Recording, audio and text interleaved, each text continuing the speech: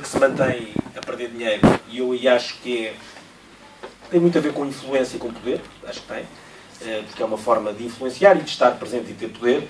Eh, acho que eh, no caso do, do Expresso, que é o caso que eu, eu hoje eu não tenho nenhuma, nada a ver com a SIC, eu vou à SIC, eu digo só vou à SIC jogar a bola, não tenho nada a ver com a SIC, eu trabalho no Expresso, é onde estou, trabalho lá há muitos anos, e vou à SIC quando me convidam, tenho lá um programa uma vez por semana, mas, por exemplo, no caso do Expresso, apesar de tudo ter sido, um, ter sido e ser ainda, uh, e ser uh, um jornal lucrativo, mantém, tem uma grande vantagem, quer dizer, para além de, de, de dar lucro, como é óbvio, uh, é a de permite manter uma independência dos poderes económicos e políticos genericamente e não vou estar aqui a contar exemplos aos outros, mas nós não é todos os meses, mas é raro o período em que não há uma, um choque grande com algum grande anunciante. Já tivemos situações complexas, quer de cortes de anunciantes, quer de guerras com anunciantes, em que, ou guerras, ou, ou coisas em que estamos a escrever e que de repente são, uh, são os nossos maiores anunciantes. Nós há um mês ou dois fizemos manchete a dizer que na Suíça tinham levantado o sigilo bancário a administração toda do Banco Espírito Santo Uh, notícia, curiosamente, não replicada em nenhum órgão de educação social em Portugal, apesar de ser um facto que era uma sentença, não sequer era uma historieta, um, ehm, e é, seguramente, o terceiro ou quarto maior anunciante do Expresso. E se tirarem anúncios todos dali de um dia para o outro, nós temos um problema grave.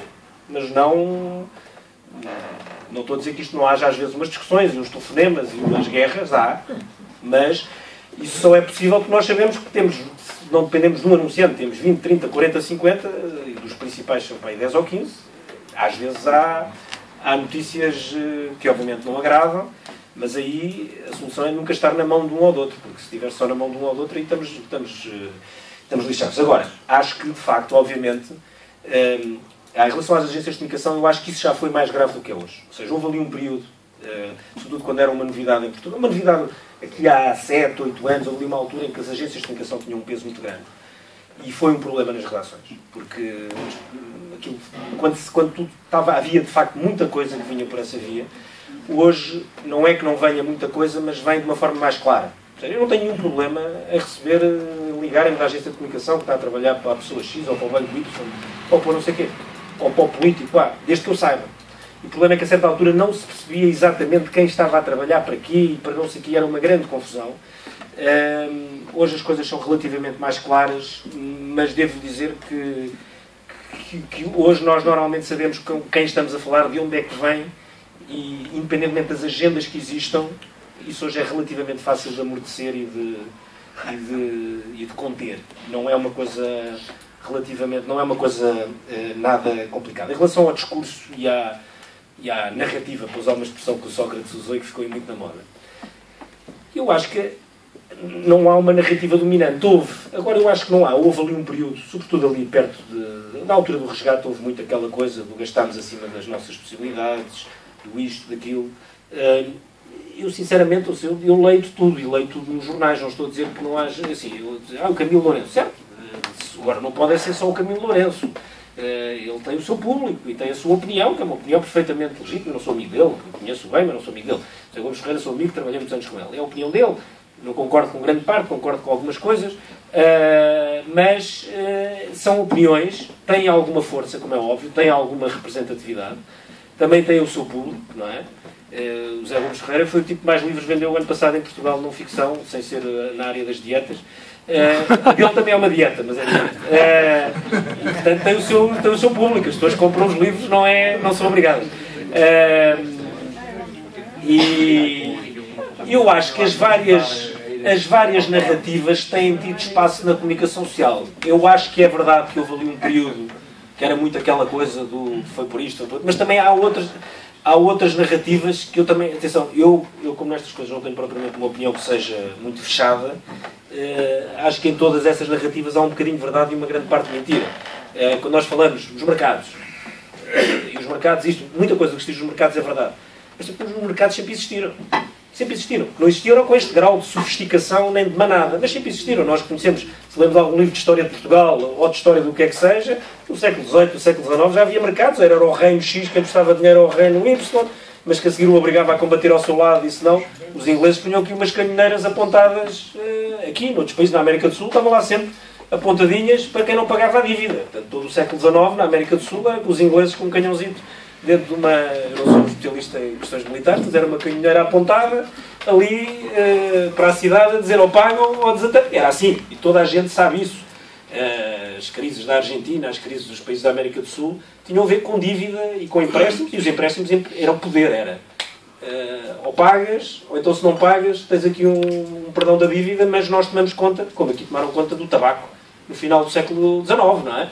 Está bem, ok, tem um perdão de dívida, mas dá cá o tabaco. E a seguir é dá cá outra coisa qualquer. Portanto, esses jogos financeiros e de empréstimos entre Estados, ou entre bancos e Estados, uh, tinham, uh, tinham a ver com isso. Aliás, quem defende que uma das razões pelas quais o, o Napoleão perdeu a Batalha do Waterloo foi por causa do, do, dos financiamentos dos Rothschild terem mudado de lado. Uh, e, portanto, há muita coisa do dinheiro sempre teve uma importância. O que, nós, o que não quer absolutamente novo, e isso é que é novo e grave, é aquilo que se chama a financiarização e o grau de sofisticação do dinheiro que está aqui hoje e está daqui a 3 horas na Malásia e daqui a 6 horas na Argentina. Isso é que é uma coisa que nunca existiu.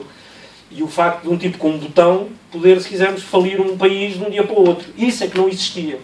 Eh, ou então, quando existia, era o rei da Prússia que, se quisesse, mandava falir eh, Marrocos. Agora não, é um tipo qualquer, está ali na City de Londres, que tem 22 anos e que diz que não gosta destes gajos e dá-lhes um A a menos.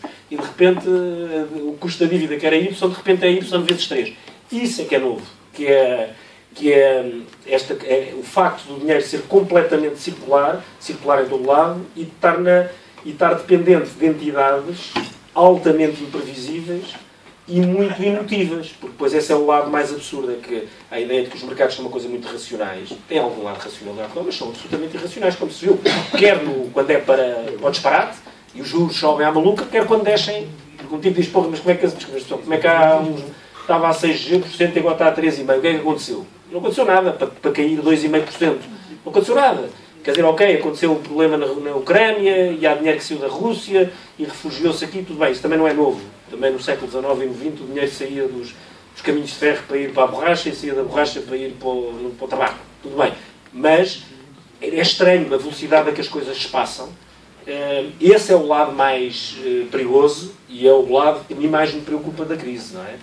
É, é que nada do que levou à crise desapareceu. Nada do que levou à crise desapareceu está eh, lá tudo. E, e, a questão é, ficou cá tudo para a próxima. Uh, as agências de rating, toda a gente disse que iam acabar, não acabaram nada, toda a gente disse que eu não sei que não acabou nada. os bancos apanharam alguns no susto, houve muitos que perderam dinheiro, houve gente que faliu também pelo caminho. a gente vai perder o controle dos bancos. O próximo caso, o caso que está a acontecer agora, está hoje em todo lado nos jornais, é o BES, vai sofrer um, é, também não é verdade quando diz ah, os banqueiros não sofreram. Quer dizer, é sofrer de uma maneira diferente, como é óbvio. Não estou aqui a ser hipócrita, por favor. Mas também, muitos deles não lhes passava pela cabeça perderem o controle dos bancos e, e vão, uns perderam, outros vão perder e perdem muito pelo caminho. Claro que é um perder que não tem nada a ver com uma pessoa que tenha uma reforma de 500 euros e que passa a ter uma reforma de 200 euros ou, ou, ou que tinha emprego e não tem emprego. Estamos a falar de coisas parecidas. Uh, mas, objetivamente, os bancos tiveram algum cuidado havia ali uns, uns produtos financeiros que desapareceram durante os tempos, está tudo a voltar. Está tudo a voltar calmamente. Está tudo a. Um, no outro dia estava a ler um artigo num jornal americano, quer dizer, aquelas coisas do subprime está a voltar. De uma maneira não tão escandalosa, mas está a voltar. Está a voltar porque o preço do imobiliário está outra vez a crescer uh, nos Estados Unidos e Inglaterra e, portanto, já estão a começar a fazer a mesma, não a mesma coisa, mas a fazer uma coisa parecida. E isso é a parte que nos assusta mais, porque é. Uh, seja, é tudo isto para quê? É? Essa é a parte que a parte mais dramática disto é para quê? Eu, uh, isto aí é mesmo uma questão de opinião pessoal, nem sequer é profissional, é pessoal. Uh, tenho muito medo de alguma solução que, que inclua a saída do euro. Uh, não porque que seja o fim do processo, que há muita gente que defende e defende estruturalmente, como por exemplo João Ferreira do Amaral é um dos que faz melhor. Uh, o meu medo é como é que é o processo de transição. Porque eu, eu sinceramente, e não sou economista, nem tenho formação económica, mas o processo de transição numa coisa dessas, é, ninguém sabe o que é que é. Ninguém sabe o que é que é. Ninguém sabe o que é que acontecia. Eh, que moeda é que íamos ter, quanto é que essa moeda valia.